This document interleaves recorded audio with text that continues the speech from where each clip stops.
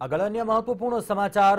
સુરતથી સામે આવી રહ્યા છે સુરતના રંદરમાં ગાંધીનગર સ્ટેટ મોનિટરિંગ સેલના દરોડા. બાપનગર ઝુંપડપટ્ટીમાંથી જુગારનો અડ્ડો ઝડપાયો. પાંત્રીસ જુગારિયાઓને બે લાખથી વધુની રોકડ સાથે ઝડપી પાડવામાં આવ્યા છે. પાંત્રીસ જેટલા વાહનો પણ જપ્ત કર્યા છે. ગાર આરીફ યોગેશ નામના ઇસમો ચલાવતા હતા. પાંત્રીસ જેટલા જુગારિયાઓની ધરપકડ કરી છે અને કડક કાર્યવાહી હાથ ધરવામાં આવી રહી છે. અને ગાંધીનગર સ્ટેટ મોનિટરિંગ સેલે દરોડા પાડ્યા છે સુરત. રંદર વિસ્તારમાંથી આ જુગારધામ ઝડપાયું છે. વધુ વિગતો સાથે સંવાદદાતા સંજય મહંત ફોન લાઈન પર જોડાયા છે. સંજય, જુગારધામ ઝડપાયું. સુરતના રંદર વિસ્તારમાં શું અપડેટ રાંદેર પોલીસ સ્ટેશનની હદમાં આવેલું જુગારધામ સ્ટેટ વિજિલન્સે ઝડપ્યું છે એટલે કહી શકાય કે સુરત પોલીસની નાક કાપતી આ ઘટના છે.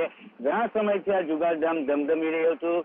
ત્યારે પોલીસની જાણ ન હોય એ વાત ઘરે ઉતરેવી નથી અને આવા પરિસ્થિતિમાં સ્ટેટ વિજિલન્સે રેડ કરી છે અને છ જેટલા જુગારીઓને ઝડપી પાડ્યા છે. સાથે સાથે બે બે લાખ પચાસ હજાર રૂપિયા રોકડા અને ચાલીસ જેટલી બાઇકો હાલ પોલીસે કબજે કરી છે. તમામ મુદ્દામાલ અને આરોપીઓને પોલીસ સ્ટેશન લઈ જવામાં આવ્યા છે. પરંતુ મહત્વની વાત એ છે કે ફરી એકવાર જે મુખ્ય સૂત્રધાર છે એ ફરાર થઈ ગયો છે અને તેની વિરુદ્ધ ગુનો દાખલ કરી, વોન્ટેડ જાહેર કરી પોલીસે તપાસ હાથ ધરી છે. ટૂંકમાં શું કહી શકાય? Surat police, Surat DCB crime branch સહિત જે પોલીસની એજન્સીઓ છે તેની નાક કાપી આ ઘટના છે, કારણ કે સ્ટેટ વિજિલન્સે આ દરોડો કરવા પડ્યા છે.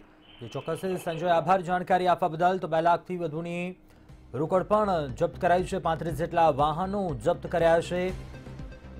જુગાર આરીફ અને યોગેશ નામના ઈસમો ચલાવતા હતા જે પ્રાથમિક તપાસ દરમિયાન વિગતો જાણવા મળી છે.